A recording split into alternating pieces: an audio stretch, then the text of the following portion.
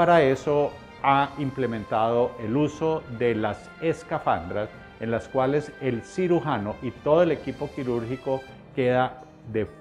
vestido de forma completamente estéril,